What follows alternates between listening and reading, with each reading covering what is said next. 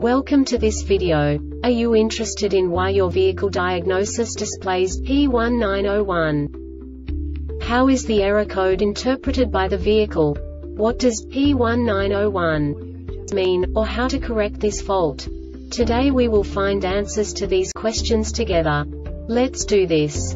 First, let's look at the history of diagnostic fault code composition according to the OBD2 protocol, which is unified for all automakers since 2000.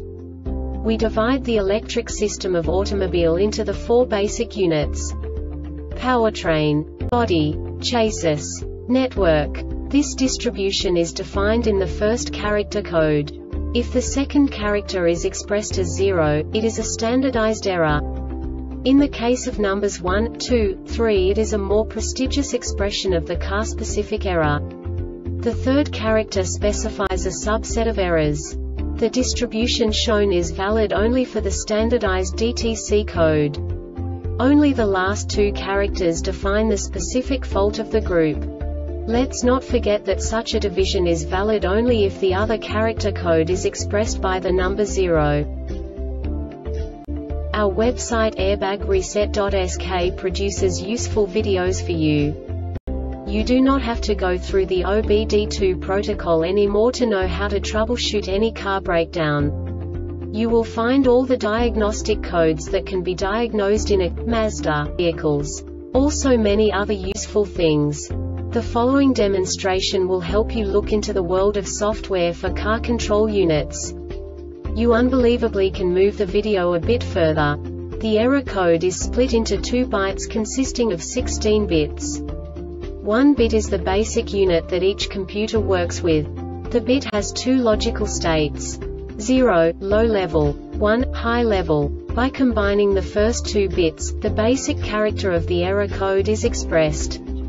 The next two bits again determine the second character. The last beat styles of the first byte define the third character of the code. The second byte is composed of a combination of 8 bits. The first 4 bits determine the fourth character of the code. And the combination of the last 4 bits defines the fifth character. A single byte conceals 256 possible combinations.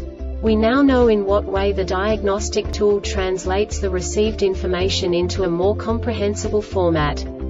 The number itself does not make sense to us if we cannot assign information about it to what it actually expresses. So, what does the diagnostic trouble code P1901 interpret specifically Mazda car manufacturers? The basic definition is Level control exhaust valve circuit malfunction.